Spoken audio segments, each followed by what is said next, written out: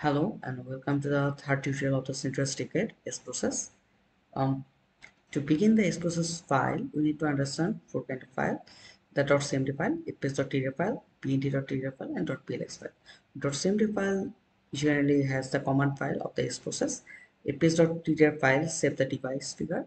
pnt.tdr file generally create the boundary, and .plx file is to see the doping behavior.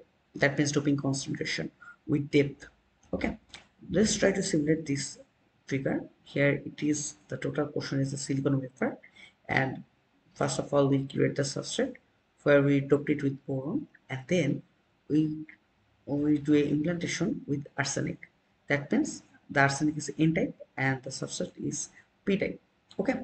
So to begin this this scenario we need to declare the grid first uh,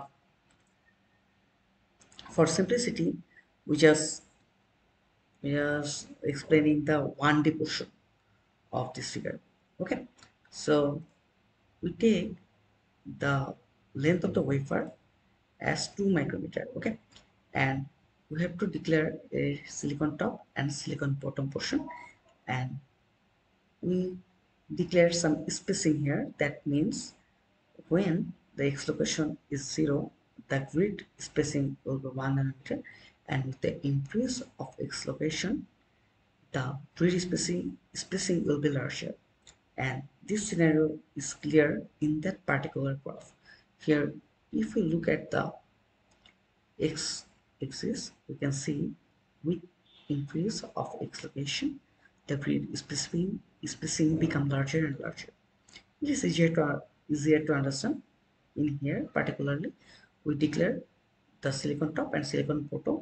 That means we create a grid of 2 micrometer where we create various spacing spacing of suppose it is a box of uh, here as it is a 1d structure suppose it is x-axis structure.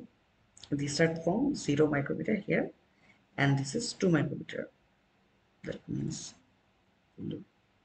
here is 0 micrometer and here is 2 micrometer there various grid in the middle of it. First the grid are spacing spacing is the grids are really close to close to each other. And with that increase of length the grid spacing spacing is become larger and larger. So okay. Actually the grid is quite similar to this figure okay? And next after declaring this grid we have to initialize by how we can initialize the simulation. We call region silicon x low equal to the silicon top and x high equals to the silicon bottom.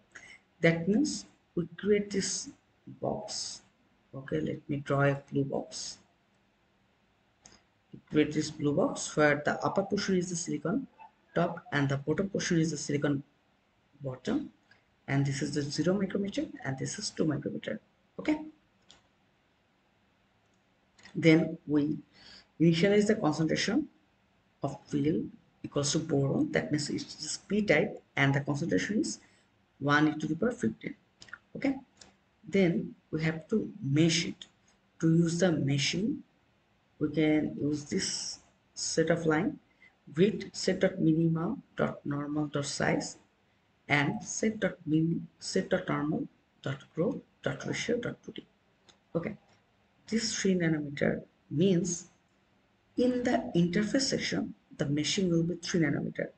And if we go far from the interface region the grid spacing, spacing will be become larger and larger at a rate of 1.4 okay? So at the interface the uh, the grid spacing will be spacing will be larger. And with the increase from the interface region, the grid spacing will be larger and larger. Okay. And then with this line of code we are creating a oxide layer. Okay. So at first we declare a gas flow named O2 underscore 1 underscore N2 underscore 1 which means that it is a gas mixture of oxygen and nitrogen. Okay and their weight is 1.2 liter per minute and 1.0 liter per minute. Okay that means we have a gas flow which name is O2 underscore 1 underscore N2 underscore 1 and which consists of two type of gas oxygen and nitrogen. And it is flowing at a pressure of the environment pressure 1 atmosphere. And then we diffuse it with a temperature of 900 degrees Celsius for 40 minutes of time and we declare the gas flow here. That means over the silicon top layer we have a oxide layer. Just like this okay? Let's draw it in another color. Okay it is the oxide layer. Uh, the way we created the oxide layer. Is quite difficult compared to the deposit one. It can be more easier with the deposition. So for case of deposition we just have to declare the deposit material equals to oxide type isotropic.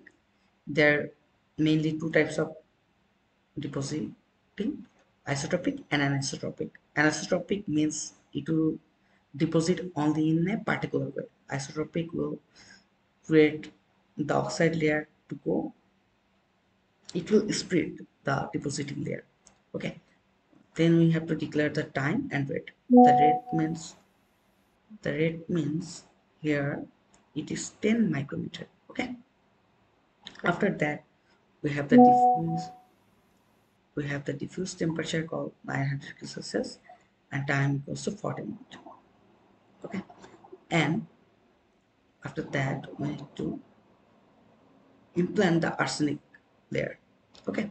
To implant the arsenic layer we need to declare the energy. Then we have to declare the dose where we use 1 into the power 40 centimeter per stone at a tilt of 7 degree and a rotation of 0 degree.